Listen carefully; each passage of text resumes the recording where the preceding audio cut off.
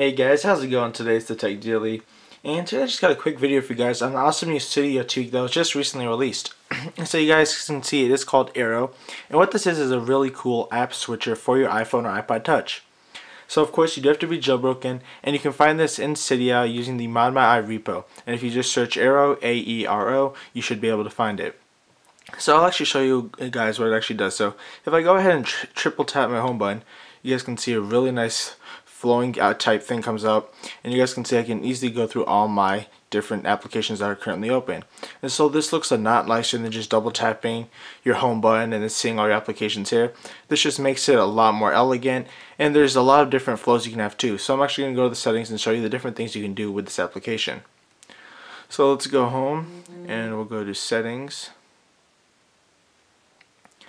And if you scroll down a little bit you should be able to see something called Aero so you just click on that and you guys can see there are a lot of options. So first is the activation method. So you can activate it different ways. You can double tap your home button, you can do a short hold, you can triple tap, which I currently have set, whichever basically is easier for you. Also, there's the overlay mode, which just lets you see the background that's currently open. So if I click that and then triple tap this, you guys will see that settings is still open in the background. So I can close out of that again, and I can turn that off if I want to. Then you can choose small icons or big icons. I just choose small icons just because it makes the apps more crisp. So if I turn that off and it'll be big icons, you guys can see that now they're a lot bigger. And they still do look pretty clear, but they aren't as crisp as they are little. So whichever, it's just basically your preference. So it's nice that they let you change all these options. So we'll go back to the settings to show you what else we have. So animation. So this is actually the way that you can choose to see your application. So currently I have cover flow, which is the default that I actually like the most. But as you can see, there's a lot of different ways. So let's go to rotary and show you how that looks.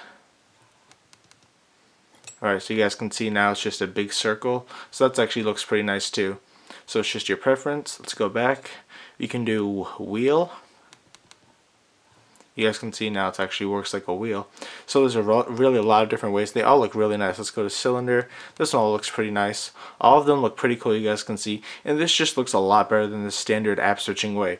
So this basically is a way to show off to your friends. It's just a nicer way to show off your applications. And overall it just is a nice Cydia tweak for anyone that's into that kind of stuff. So now let's go back and you guys can see the other stuff that there are. There's the icon reflection, so that's just if I triple tap, you guys can see that the icons do have a reflection down there and that just makes it look a little more nicer. Let's go back. And then there's wrap enabled and vertical mode.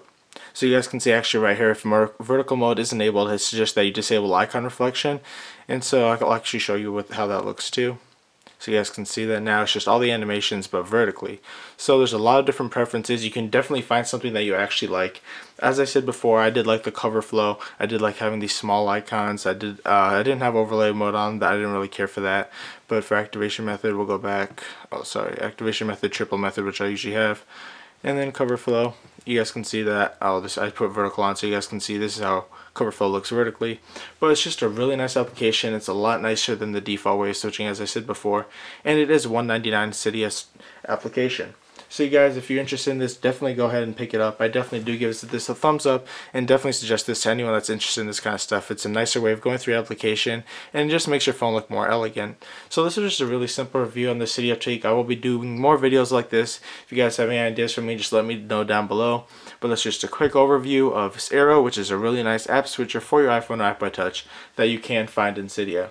So you guys, thanks for watching and please remember to comment, rate, and subscribe. Other than that, you guys all have a great day and look forward to my next video.